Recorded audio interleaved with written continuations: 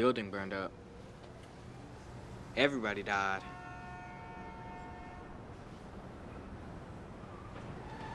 Some asshole didn't put out a cigarette.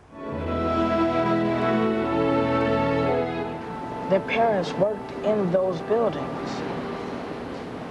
I used to see them walking down the street to the ferry. This girl in my class, her dad's a fireman.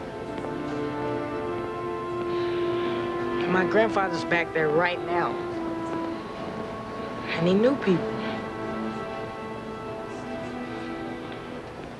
Those towers. They were just there, you know? I never got tired of looking at them. They're so big and cool. The way the sun would reflect off of them.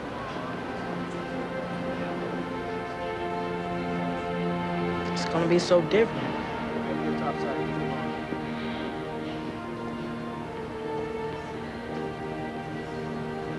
Just not the same anymore.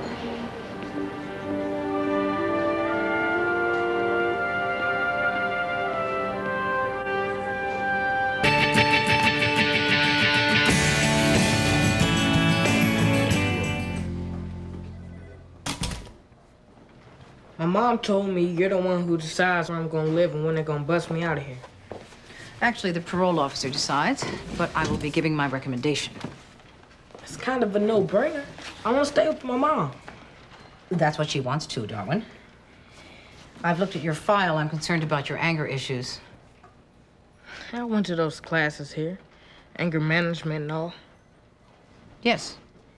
And still you managed to throw a plate of food in a counselor's face and stab another inmate with a pencil. That counselor was dissing me. And the guy that I stabbed, I had two choices. Stab him or be his bitch. I think you had another choice. You could have reported him. yeah, right. Isn't that how you ended up here in the first place? Getting angry, lashing out, hurting someone?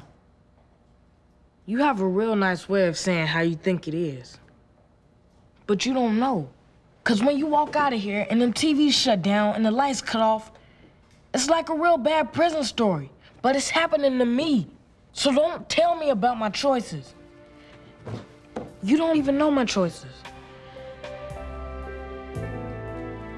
Oh no, oh no. How'd you get this car? What do you mean? My mother said you never had a job. Never had a job. Your mama saw me pick cotton. Her and brother had a road to pick too. I stopped picking cotton when I turned 15. Started hopping trains. But I got this car playing with bones. Lesson number one, never believe nothing a woman tells you.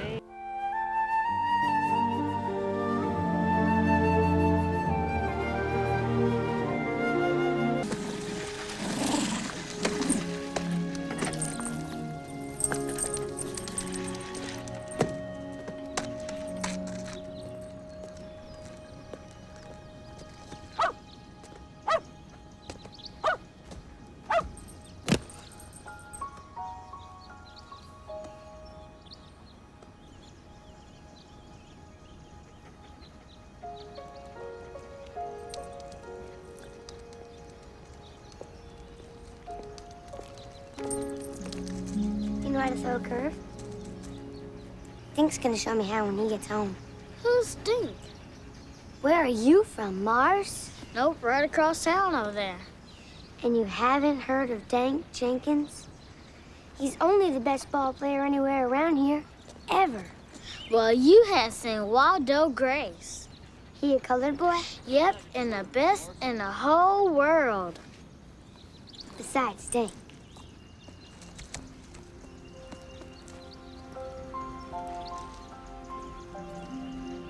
Likes you.